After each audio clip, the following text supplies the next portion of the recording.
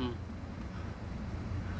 What surprised you about that? What was different about it than perhaps you thought it would be? Given that it's basically a culture that's pretty much intact for the last 1200 years, with just taking out of modern life what is convenient and useful and still maintaining the traditional ways. Yeah. Um, it wasn't so much a, a surprise as it was more a um, feeling melancholy and feeling sad for the people of Saipan, especially um, the Rafalawash people of Saipan, and especially the Rafalawash people of Tanapag or Talabo.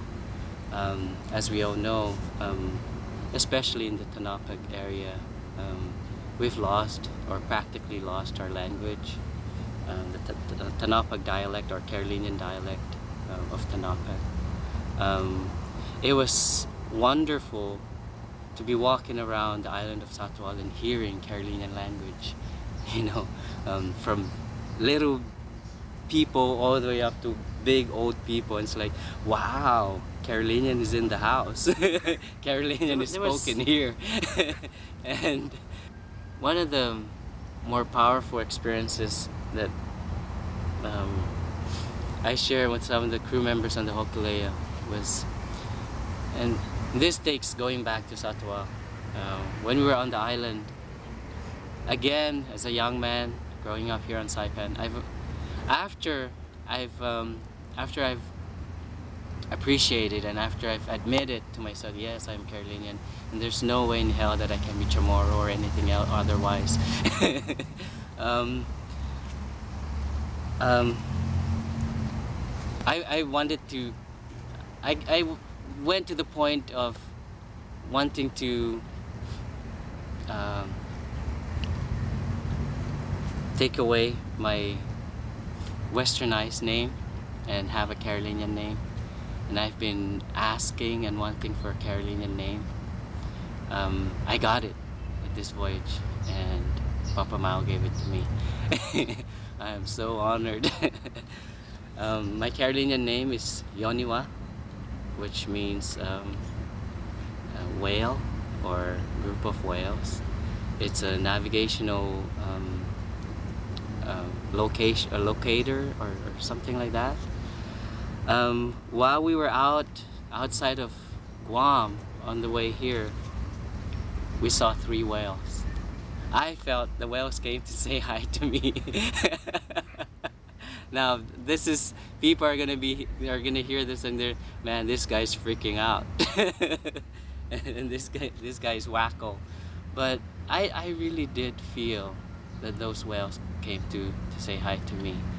Um, and in my excitement and in my ignorance being so young in, in this whole adventure and in this in this learning experience um, many of the Saipan crew, Saipan men on the Hokulea, stood up and were so excited. I was one of those people. I was so excited. Whale, whales, whales, whales, you know.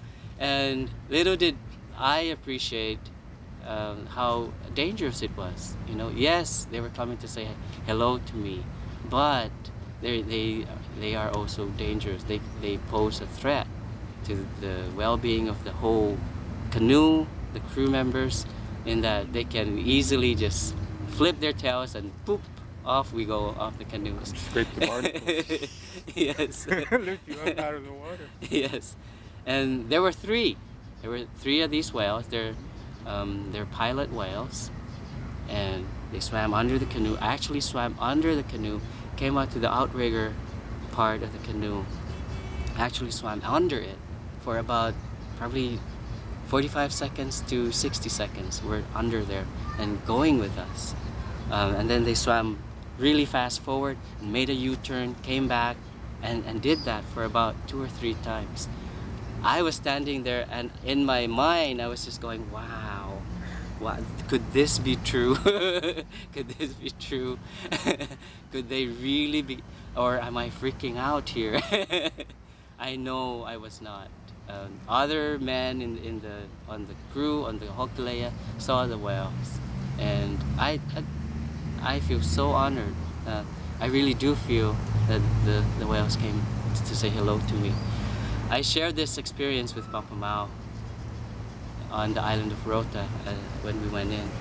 And he smiled at me and looked at me and he said, Why didn't you go with them? They, they could have taken you to Saipan. Maybe I can do that on another voyage.